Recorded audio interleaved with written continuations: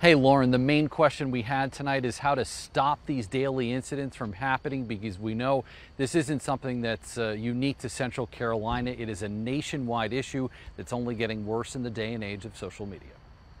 Even when they call code red, like there's an intruder in the school, they might not have a gun, but I still get terrified at what could happen. You heard it from these parents the other night outside Heritage High School in Wake Forest. Thinking it's a normal day and then you get a call that school's on lockdown. That's it's terrifying. Students being put on constant lockdowns, law enforcement showing up, then parents left scrambling.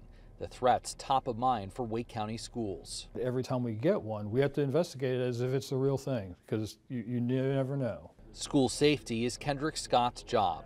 He's the Senior Director of Security for Wake County Schools. Do we do with this much more than I want to be dealing with it. We stood with him just hours after he presented in front of the Wake County School Board. They're trying to figure out what can be done. Weeks after a bomb threat at Heritage High School on the first week of school, that threat led to students getting overheated on the football field.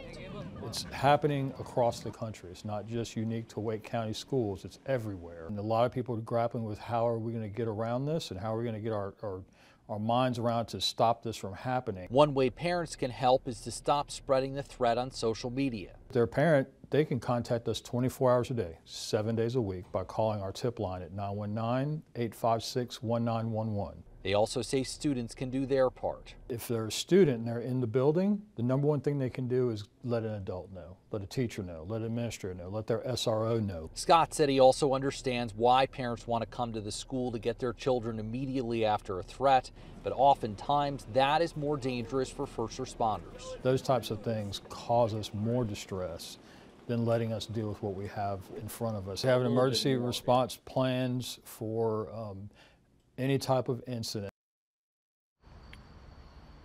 The command center for all of these incidents start in Mr. Scott's office right here, and then they grow, Lauren and Steve, based on uh, a response needed, if one is needed from law enforcement. As for that incident at Heritage High School that was being talked about here uh, at the school board today, a full after action report is going on to figure out what went right and what could be improved. Back to you.